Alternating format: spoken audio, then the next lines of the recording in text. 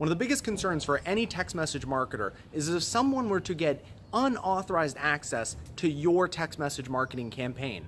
What could happen is they could download the list, or even worse, is they could send an unauthorized text message to all the subscribers on your list. That'd be pretty disastrous. So, what do we do here at Tatango to protect our customers?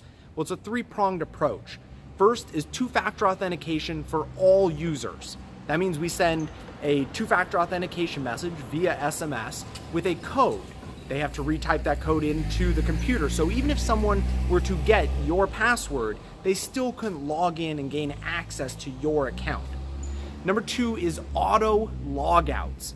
Auto logouts are super important because if your laptop is sitting on your desk, you haven't used Tatango in a while, we will automatically log you out of the service to protect the, your account from getting access from unauthorized people.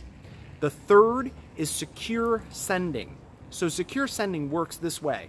If uh, you're sending a text message, a mass text message to your list, you have to retype in your password. So this is super important because let's say your laptop was left open, but you know only five minutes or so. If someone were to gain access to your laptop, type in a message and click send on most SMS providers, it would send. Tatango, we have secure sending. That means that before they can actually send the text message, they have to retype their password into uh, the messaging box. And then, if it is a correct password for that specific user, then the message will send.